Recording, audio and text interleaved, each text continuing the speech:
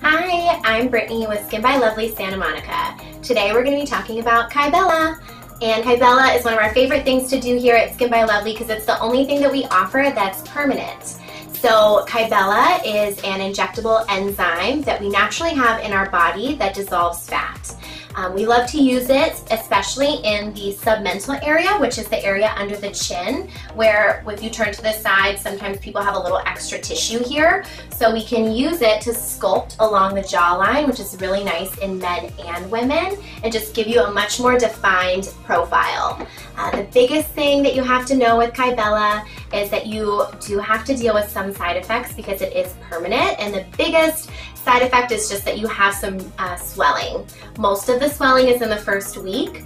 It can last definitely a few weeks beyond that, but it's not typically noticeable to other people. Um, but you just have to be, you know, prepared to wear a cute little scarf or a high little turtleneck just to kind of keep it concealed. Um, but I also like to make sure my patients know that Kybella is not a one and done procedure. Typically, patients have to do it two to three times, sometimes even more than that to get the effective uh, result that we like to see.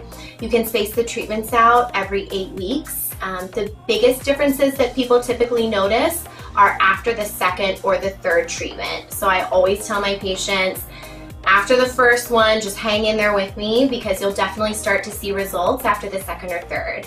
So if you want to learn more about the process of doing Kybella, then keep on watching.